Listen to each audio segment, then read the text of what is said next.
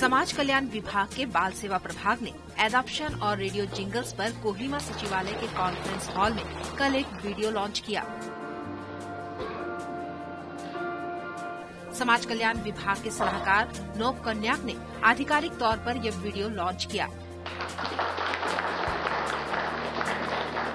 इस मौके पर बाल सुरक्षा सेवा की निदेशक चुबेला ज़मीन ने कहा कि नागालैंड में गोद लेने की परंपरा काफ़ी प्रचलित है।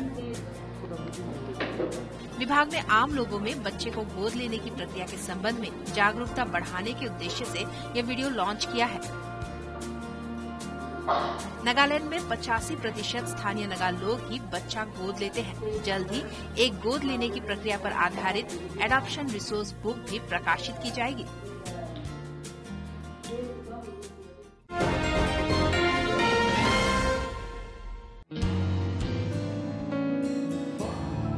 मिजोरम के छात्र संघ मिजो जिलाई पॉल ने कल वनापा हॉल में करियर गाइडेंस और गैर मिजो समुदाय में शादी के मुद्दे को लेकर जागरूकता शिविर का आयोजन किया।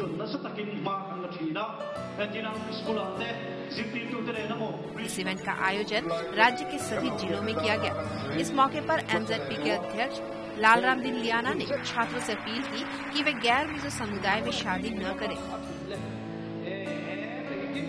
उन्होंने कहा कि मिजोरम की जनसंख्या भारत के अन्य राज्यों की तुलना में काफ़ी कम है और मिजो समुदाय में ही शादी करने से मिजो संस्कृति की रक्षा हो सकती है।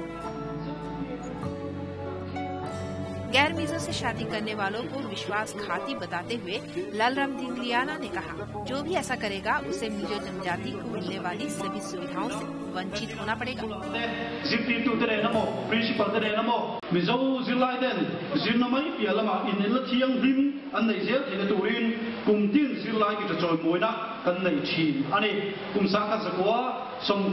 aran soi soi ya dau tura po ngai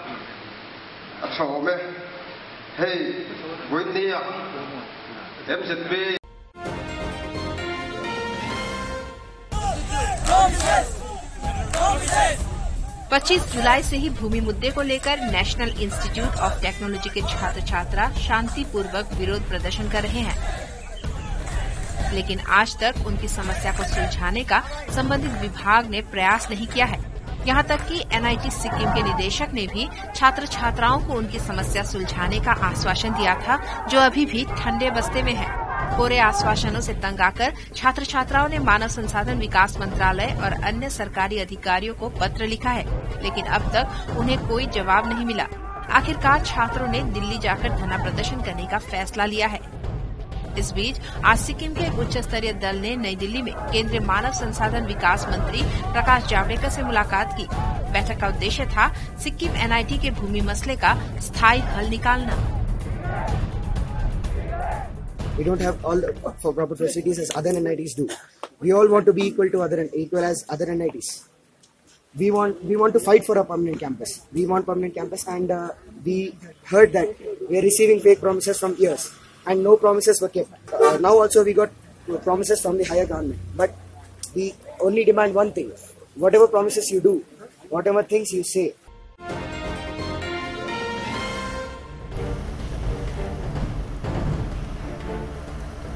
Pasighat के सियांग नदी के बाढ़ में फंसे 19 लोगों को सकुशल बाहर निकाल लिया गया है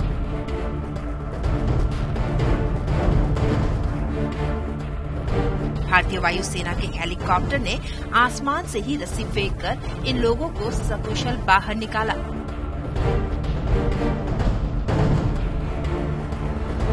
ये सभी लोग असम के जोनाई के निवासी हैं।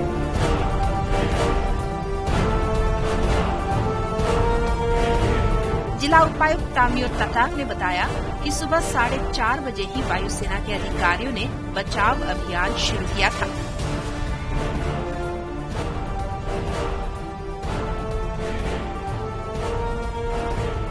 ये वेब्स मेरा हिसाब से साइंटिफिकली ऑफ़ कोर्स आज तक हम लोग प्रूफ नहीं कर पाया। इसका सियांग नदी का हिस्ट्री में कभी ऐसा नहीं देखा था, पहले। छेराम नामसिंग एंड बोरोगुली, कोंकुल, उस एरिया में बहुत असर हुआ है। और शेराम बस्ती के अंदर में उस दिन हम लोग honourable M L A Lambotai के साथ में हम भी गया था, कुछ सब एस गया था। रिलीफ चावल बढ़ के आया है। थर्टी आदमी वहाँ में मेरून होके बैठा है, यो जंगल के अंदर में, ये द्वीप के अंदर में। ये खबर परसों हम लोग सुन के, फिर फिर ये हम लोग उसको इमरजेंसी स्टेप ले लिया डिस्ट्रिक्ट एडमिनिस्ट्रेशन का ओर से। हम लोग ये टेकअप किया है and Shekhar army military station को कॉन्टेक्ट किया।